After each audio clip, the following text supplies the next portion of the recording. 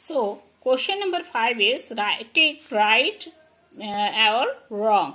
Every multiples of 5 is divisible by 10. No, every multiples of 5 is not divisible by 10 because um, uh, which number have ones place or tens place is 0 and 5 is divisible by 5 but uh, divisible rule of uh, 10 is which ones places uh, ones and tens places 0 uh, those number are divisible by 6 so it cannot divisible by 5 every multiples of 2 and 3 is divisible by 6 no every multiples of 2 and 3 is not divisible by 6 because 2 2 are 4 Clear?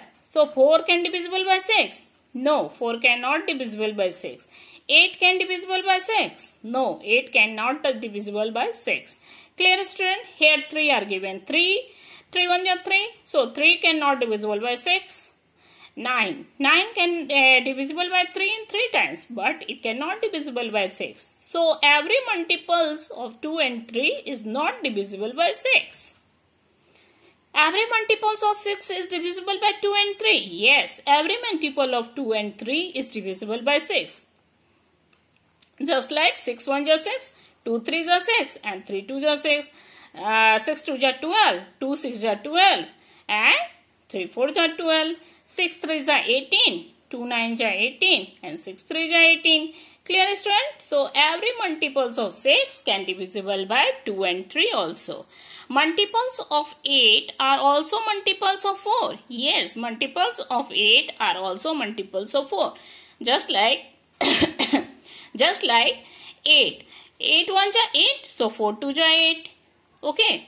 Uh, 8 2 is 16, so 4 4 is 16. 8 3 is 24, 6 4 is 24. So every multiples of 8 are also multiples of 4.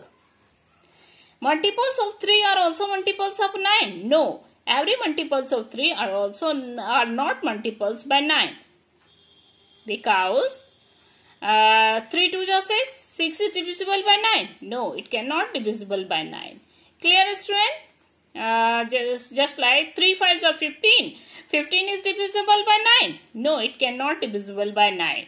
So, multiples of 3 are also are not uh, multiples of 9. Yes. Uh, this answer will be false. Clear student? That's all in this exercise children. Hope you easily understood this exercise. So your homework for today is complete this exercise in your copy. Thank you.